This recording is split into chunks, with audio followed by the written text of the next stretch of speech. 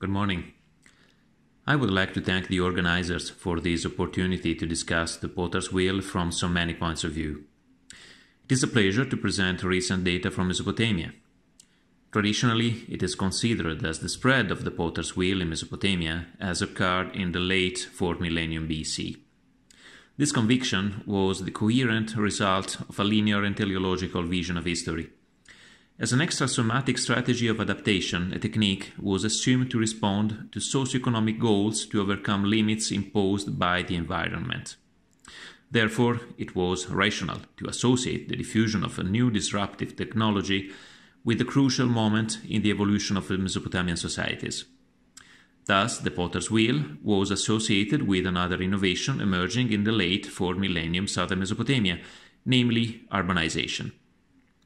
The first extensive agglomerations were considered as receptacles gathering people supposedly sharing the same ceramic needs to which specialized craftsmen had to respond in a new standardized way, with large scale production of an iconic container, bevel rim bowls. However, recent studies on the potter's wheel have dismissed environmental economic determinism and knowledge about 4 millennium Mesopotamia has advanced considerably.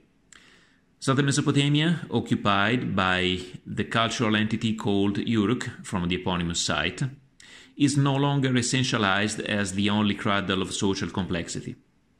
Much attention has been paid to the independent but equally ancient path to complexity developed by the proto-urban formations of northern Mesopotamia. Once abandoned stereotypes about urbanization techniques, such as the assumption that bevel rim bowls were wheel thrown, and they are not, one fact remains true.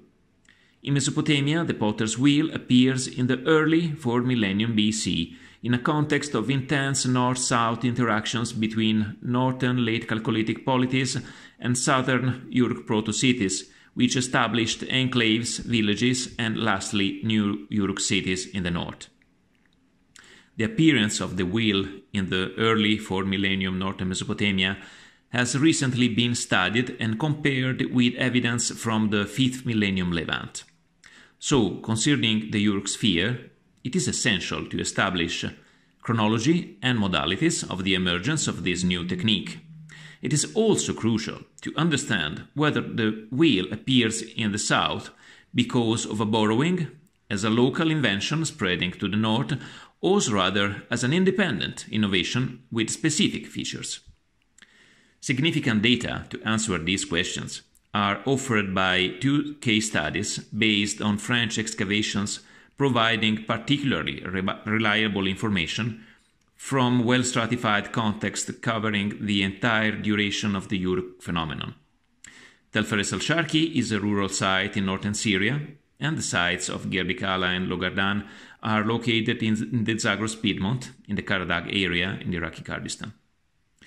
The basis of the Uruk South Mesopotamian presence in these two regions are not identical but together, the sequences of Tel Feres and the Qara Dagh sites cover the whole time span of the cultural contact between North Mesopotamian societies and southern Uruk communities during the 4 millennium BC.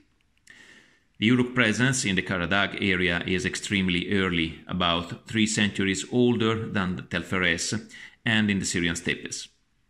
From the beginning, it was a massive presence, with an acropolis, stone ramps, monumental buildings, large production areas, and later with the foundation of an autonomous Uruk village at Girdi Qala north.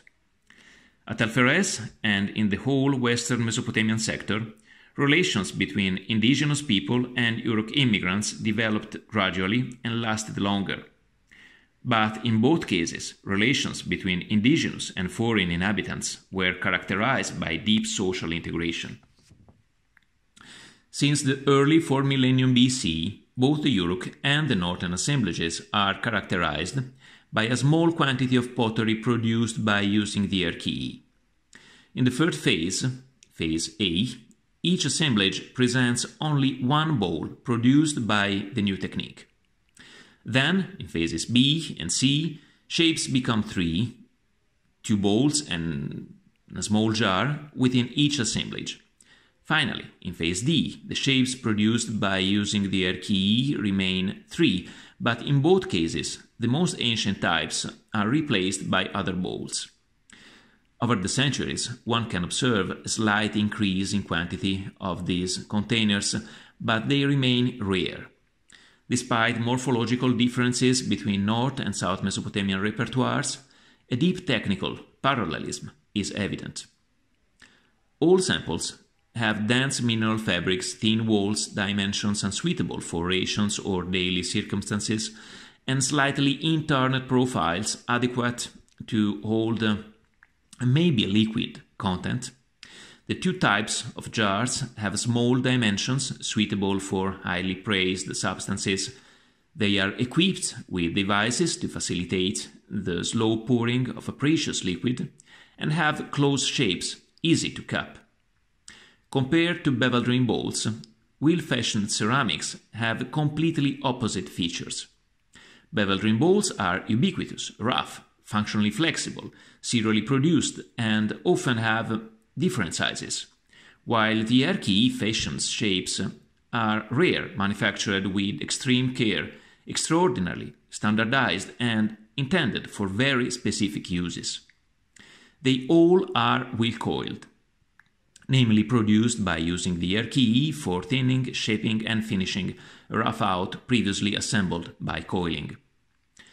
In the whole northern Mesopotamia, the wheel coiling was implemented by assembling a rough out made of rounded coils of about 2 cm thick, with oblique orientation of the junctions towards the interior side of vessels then shaped and finished on slow wheel. Throughout the Uruk sphere, the rough out was prepared by overlapping flattened 3.5 cm thick coils with alternating oblique orientation of the junctions toward the interior and exterior side of the containers that were shaped by the RKE on a wheel. North and South Mesopotamian craftspeople shared a solid common technical basis. The evolution of the wheel coiling takes place at the same pace for both North Mesopotamian and Uruk potters. This is not accidental. Social and production contexts were entirely similar. In this respect, the spatial distribution of the Uruk wheel coil containers is significant of their exceptional value. In the Qara Dagh, Uruk wheel coiled pottery comes from two specific production and use contexts multiple kilns and monumental buildings. Multiple composite kilns are not simply vertical draft structures, which are well attested in Mesopotamia since the 6th millennium BC. Multiple kilns consist in several structures connected by internal and external ventilation pipes. Their masonries were embedded in each other, so they were not just associated kilns, but rather conceived and built as a single structure of sophisticated technology. All the other wheel-coiled Uruk vessels come from the main hall of different monumental buildings, large complexes occupying spatial locations with pottery pipes for the evacuation of rainwater, well plastered rooms with one meter thick stone walls and facades, decorated by large regular mud brick buttresses. In the later phase, in late Uruk phase D, wheel coiled ceramics come from Tel Feres Reaches burials. Likewise, at Uruk, the eponymous site in southern Mesopotamia, all the shapes usually wheel-coiled, come from the sounding conducted under the sacred area of the Eanna district. So the exceptional value of Uruk wheel-coiled pottery is confirmed by its concentration in buildings depending on social elites and in structures associated with spatial technologies. Furthermore, wheel-coiled Uruk containers are extremely standardized, as indicated by the coefficient of variation of the rim diameters. According to the so-called standardization hypothesis, low coefficients of variation indicate a high level of control of motor skills attained only through a high rate of production.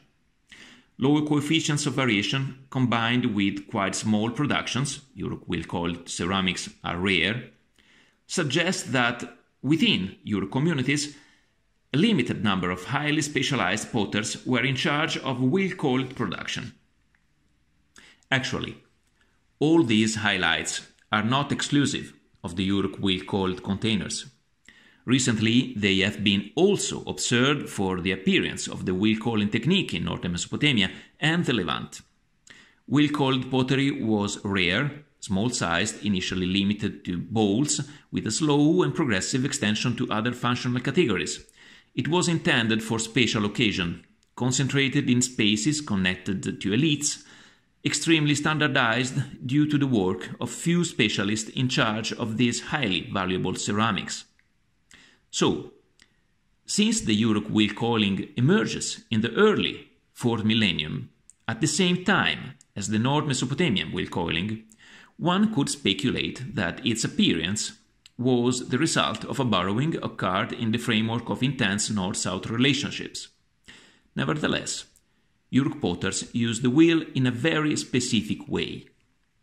The focus here is not on the North and South Mesopotamian methods of assembling the rough out. These are differences related to the coiling technique. The central question is how the wheel was used. It is difficult to answer because the RKE has such a deep effect on the clay mass that it tends to homogenize all the traces. However, features stressed here can be identified through an autoptic and microscopic analysis without requiring too much investment in terms of laboratory technologies and instruments. Uruk wheel coiled shards have never bulges or cracks on the surfaces. Their appearance is more homogeneous and devoid of flaws. Streaks on the surfaces are uniform, much thinner than those observable on North Mesopotamian productions. But their smooth, uniform appearance of the surfaces is interrupted at regular intervals by small grooves slightly deeper and wider than the streaks. On a microscopic level, although all the North and South Mesopotamian samples are made from dense, fine, low porous mineral pastes, Uruk containers have less voids than North Mesopotamian ones. Moreover, once divided the sections of the shards into three portions, an internal, external band, and a central core, the few voids are essentially concentrated in the central part. This seems to suggest that the Uruk vessels were shaped on the wheel not by hand, but with the help of a tool, probably a hard matter lissoir or smoothing instrument, which gave the surfaces their homogeneous appearance, regularly marked by little grooves corresponding to the points of contact between the edges of the tool and the wall of the vessel. The extremely reduced porosity concentrated in the core of the perpendicular section is the quite is the result of forces having affected not only the surfaces, but also the inner part of the walls. The clay has undergone more radical transformations than the North Mesopotamian specimens. In order to translate these uh, observations into a reliable reconstruction of how the wheel was used, an experimental protocol has been implemented. Between 2016 and 19, three potters, all experts in the wheel coiling technique but belonging to different traditions and regions, were asked to produce replicas of small bowls according to the methods typical of the North Mesopotamian and Uruk traditions. They used dense mineral tempered paste with a small presence of limestone, as in all ancient Mesopotamian fabrics. Then archaeological specimens and experimental replicas were compared both in terms of macro traces and thin sections, coming from the lower part of ancient and experimental vessels. In fact, as Ricarter has recently demonstrated, especially for the wheel throwing technique, in the lower part of a vessel, the clay mass undergoes significantly greater deformation. Working with a shaping tool, a wooden platelet, or a similar bone instrument, introduces new factors. Potter's gestures, postures, and hands position change. The use of an instrument radically alters the sensorial perception of the pressures applied on the container. Actually, these professional issues are approached from the specific point of view of the potter's work by treatises dating back to the Italian Renaissance. Neither ancient text nor the potters who participated in the experimental sessions considered these tools to be advantageous or disadvantageous, but simply inherent to different ways of performing the shaping. The alteration of the immediacy of the touch sensations can result in little stronger contacts between the platelet and the wall of the vessel than those between the hand and the wall itself.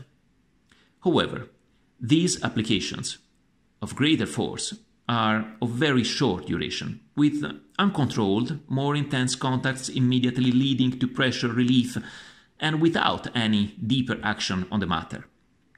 So, the use of an instrument during the shaping makes it possible to accurate, accurately reproduce the smooth surfaces and small grooves left by the edges of, of the platelets.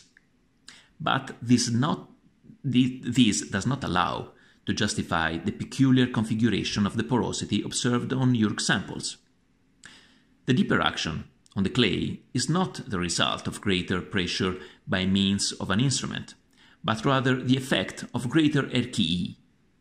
During the experimental sessions, what made it possible to obtain stretched and concentrated pores in the core of the walls was a substantial increase in the speed of rotation. Obviously, small pots, as those produced in the 4 millennium BC, require quite high speeds reached in a short time, and speeds vary greatly in the making of uh, any single type of vessel.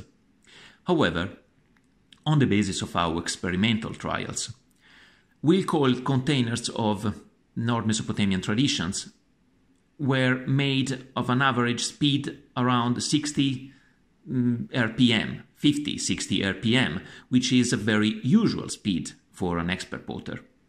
On the other hand, Uruk will call it containers seem to have been produced at a much higher speed of rotation, around 100 RPM, which is almost enough to wheel throw pots. This does not mean that Uruk craftspeople were almost able to wheel throw vessels because certain potential inherent in a device does not imply that this device is being used to its full potential. But different speeds have deep implications. Potters working on a slow wheel cannot throw pots with both hands and spin the wheel at the same time. They exploit the momentum created in bursts. Often the help of an assistant is necessary. The only other possible option is represented by a different kind of rotary device as the double or quick kick wheel, able to reach very high speeds, keeping the hands free. At the moment, in the absence of archaeological evidence, it is impossible to know what kind of wheels was used by Uruk potters. But they worked with a hard tool, implying a specific sensation to learn and control in order to apply appropriate pressures on the clay mass. They worked with hands even busier than North Mesopotamian craftspeople, at higher speeds, implying a greater need to spin the wheel. Probably they were helped by an assistant, or used a wheel typologically and technically different from that adopted by North Mesopotamian craftspeople. So, this suggests that the Uruk wheel coiling technique was a tradition quite distinct from the North Mesopotamian one and was not the result of a technical borrowing. And thank you very much for your attention.